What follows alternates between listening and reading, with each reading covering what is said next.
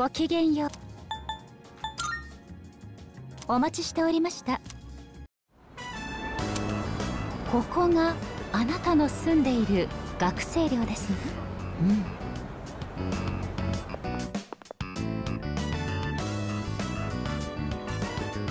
ここがあなたの部屋。見慣れないものに囲まれておりますね。うん。ところであなたの部屋に出かけたい。という私の依頼についてですがそのご不審に思われませんでしたか？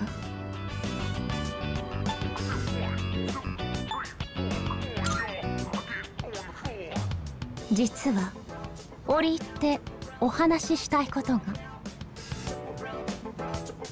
こちらの世界を探訪して私は多くのものに触れました。何もかもが忘れられない思い出。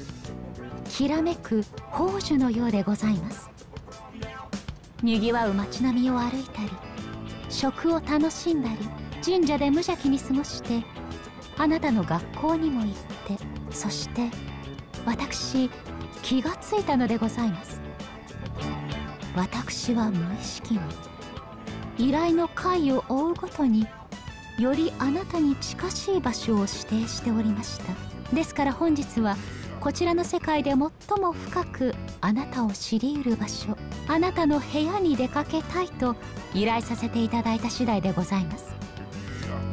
失礼いたします。覚えておいででしょうか？以前学校を案内していただいた日あなたに触れた私が充実を感じると申し上げたこと。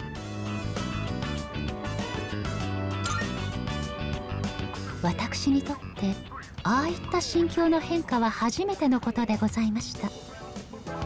どうして私は充実を感じたのか。私こちらを訪れてようやくその疑問の答えにたどり着きました。答えは実感だと存じます。ベルベットルームの住人である者が心待ちにするのは客人。その訪れだけが外界との接点であり私どもに意義を与える。こうしてあなたに触れることで私はそれを得るのでございます。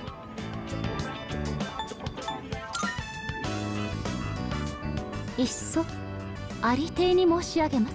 私世間知らずゆえにいろいろと頓挙なこともあったかとは存じますがさすがに私でも殿方の資質に上がり込む意味くらいは存じております。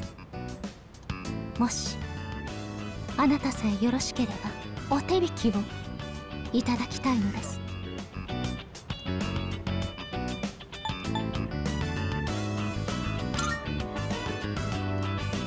ありがとうございます。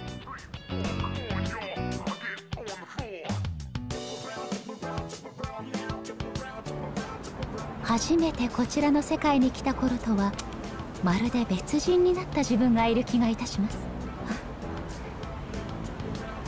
これ以上こちらにとどまっては己の本来の役割を忘れてしまいそう。ですがそれはあなたにとっても不利益。ですからこちらの世界を巡り歩くのはこれを最後にさせていただきたいと存じます。私の好奇心最後までお付き合いいただき本当にありがとうございました。本当に。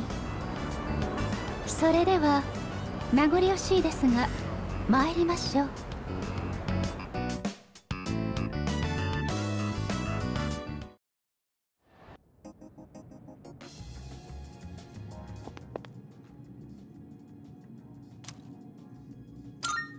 依頼を受けていた素晴らしい。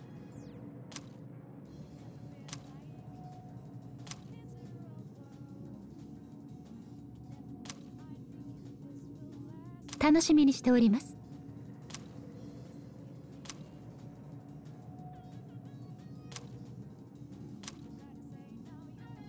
ええ。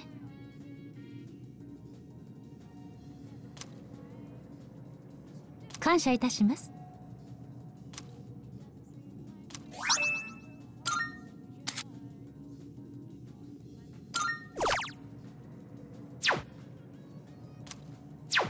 それでは。